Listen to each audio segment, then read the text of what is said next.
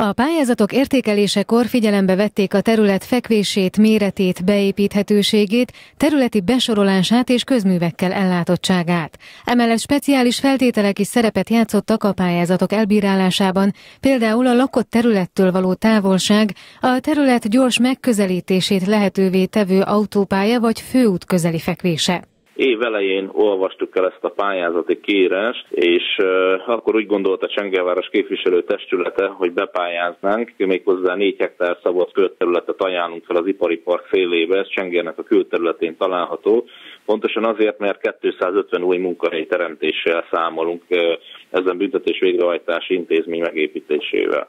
Ez azt jelenti, hogy a 250 foglalkoztatásból 30%-ának diplomásnak kell lenni, ők lesznek a nevelőtisztek, és a többi e, dolgozó pedig úgy áll össze, hogy e, lesz benne karbantartó, lesznek benne hivatalnokok, lesznek benne könyvelők, e, valamint egészségügyi irodát kell beletenni, gépkocsi vezetői hálózatot, tehát azért ez egy több szegmensből összeálló munkahelyteremtés lesz, és ami a legfontosabb, hogy állami fizetés, belügyminisztériumi munkahelyről van szó. Kemecsén szintén az ipari park 20 hektáros területéből ajánlottak fel 4 hektárnyit a várhatóan szintén 500 fő ellátottal működő intézmény létrehozására. Most a sajtó nyilvánosságban megjelent egy 500-as ellátotti létszám. Annak idején, amikor a pályázat kiírása történt, akkor egy 650 fős ellátotti létszám volt. Hát ezek még most, most körvonalazódik gondom, amikor majd itt ugyebár az előkészítés szakaszában mélyen bele fogunk majd lendülni, akkor fognak ezek a számok körvonalazódni. Természetesen ez megfelelő kiszolgáló személyzet, tehát azt jelenti, hogy munkahelyeket is teremt maga ez az intézmény, ez a létesítmény.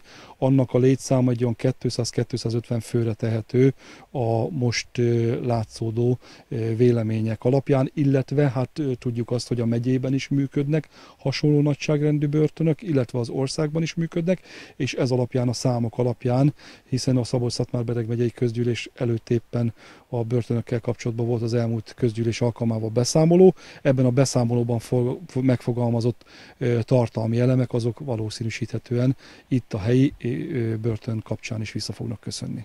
A polgármester hozzátette, Kemecsén a pályázat benyújtását többszöri társadalmi és szakmai egyeztetés előzte meg. Igen, volt erről már korábban is egyeztetés. Nagyon örülünk a lehetőségnek. Én úgy gondolom, hogy csökkenni fog ezáltal a munkanélküliségnek a nagy száma, és remélhetőleg a fiatalok elhelyezkedése is javulni fog. Korábbi sajtóinformációk szerint tavasszal 140% os volt a börtönök kihasználtsága, márciusban pedig Strasbourg kötelezte Magyarországot arra, hogy enyhítsen a fogvatartási körülményeken.